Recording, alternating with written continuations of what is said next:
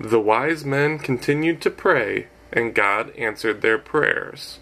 In the sky, they saw a star.